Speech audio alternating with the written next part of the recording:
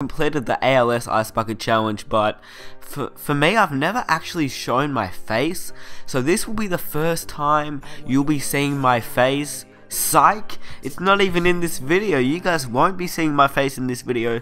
But if you want to see my face and you want to see the reaction of what happened to me when I completed the ALS Ice Bucket Challenge, go ahead and leave this video a like. If we can reach 35 likes, I'll upload the full ALS Ice Bucket Challenge of me getting soaked and it was freezing. Like it was colder than I thought. But yeah if you guys want to see the full video go ahead and rate 35 likes on this video. And look what I pulled out not here but the one after this. I pulled out this massive block of ice and imagine if this landed on my head. But yeah I'm out guys. Peace. 35 likes